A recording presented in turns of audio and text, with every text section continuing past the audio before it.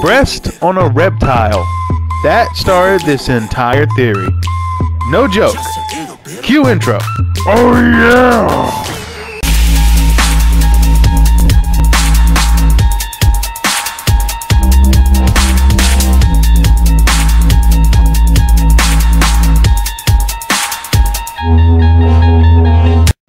Why can't Nidoqueen breed? A question on all Poke fans' minds. I'm here to try and answer this mystery. Let's begin by taking a look at the Nido family itself. Because observation is key. Key, key wow. Wow. Just on observation, this evolution line is the result of erratic, probably painful forced evolution due to radiation and Nidoran is not the original form. It's Rattata. Why Rattata? Because to my research, hamsters don't live in caves. And there's no hamster Pokemon besides probably Nidoran itself. It just works out for this theory. Now, let's try and figure the sources of radiation. I know what you're thinking, humans. And with all the wars that's going on, you might be right. But wrong! we're to explore natural sources of radiation. That's right, natural. It's called radon. Radon is results of when elements like uranium, thorium, and radium break down into radon, which is absorbed throughout the entire environment. In the building materials we use, and even the air we breathe. For us, it's not that dangerous, but in the world of Pokemon, where evolution stones could cause drastic form metamorphoses in an instant is dangerous. And they're normally found in caves. Kind of brings in the question of how ethical evolution stones really are, doesn't it? Now, on the subject of caves, rats love living in burrows, but did you know some rats live in caves? They're called troglophiles. Lo and behold, there are caves close to where Nidoran and Nidorina lives. So let's quickly run down. Kanto, Route 22, next to Victory Road. Johto, Route 36, near Ruins of the Owl. Sinnoh, Route 201, with the mysterious Lake Verity and its caverns. Unova, they're in the already mysterious White Forest. And lastly, Kalos, we have Route 11, next to the odd reflective caves. Now, why are the Nidoran not in the caves themselves? Human activity. I mean, they are perfectly carved steps in the caves. Now, for first evidence of radiation in the Nido family, they're rodents turning into lizards. There we go. End of theory. Go home, people. Nah, just kidding. We're gonna go into detail on this. Further evidence is in the environment, for I don't see any reason why Nido King and Nido Queen should exist in these environments, except for the Safari Zone, to compete with heavy hitters like Kangaskhan, Rhyhorn, Pinsir, and the Scyther Ninja.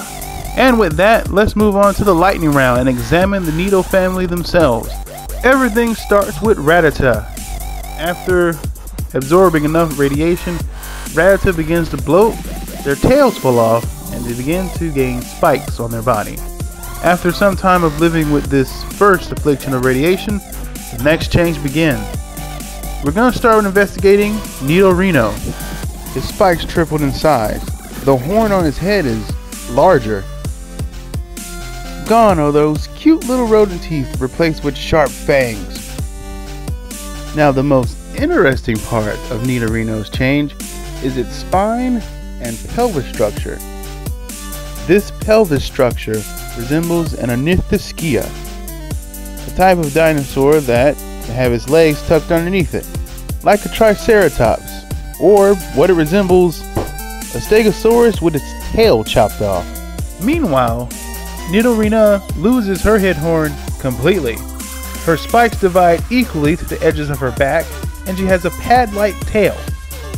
Her pelvis structure seems to be that of a Saurischia pelvis dinosaur, like a raptor. Ah, here lies the problem.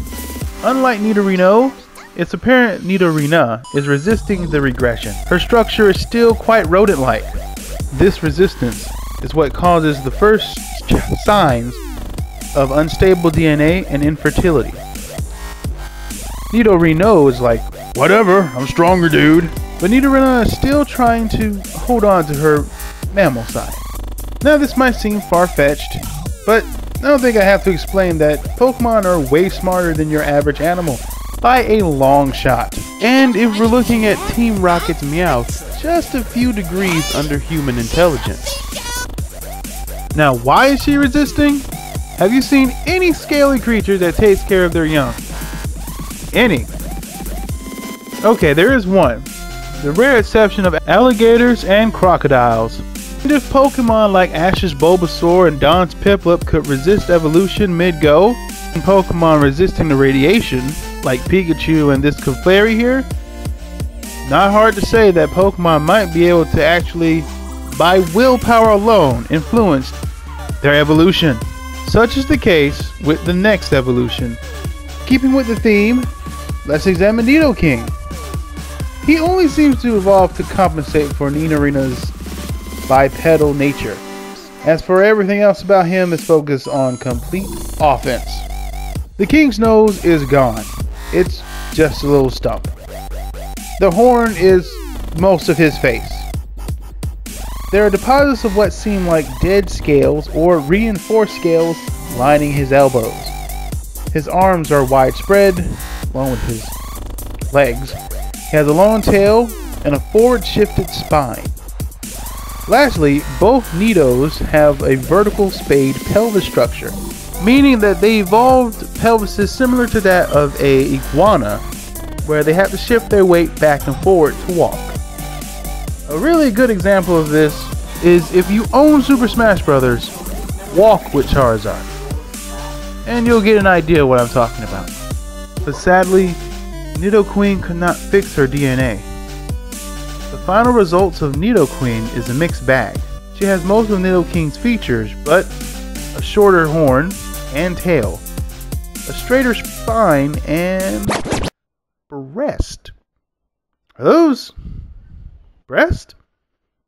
This one last try is a mixed bag because her last evolution she tried to base on humans. Seeing how humans could safely carry their young in their arms from place to place, or while running from enemies, she wanted this security for her possible future offspring. While trying to maintain her mammalian traits for her offspring, she ensured that she could not have any. Nido King, meanwhile, can breed. The male fully embraced the change without looking back. But in all this, there is a silver lining. While Nido Queen can't have children, it seems she helped raise lost and abandoned young Pokemon. In our world, animals are always being lost, abandoned, or sometimes straight out rejected by their mother. And in the chaotic world that is Pokemon, you couldn't ask for a better foster mother than Nidoqueen. It seems that these are the young that the Pokedex are always referencing. What are your thoughts on the situation? Is this what goes down? Or does Arceus play dice? Ponder well and ponder swift as you are now leaving the Theory Zone. Thanks for watching.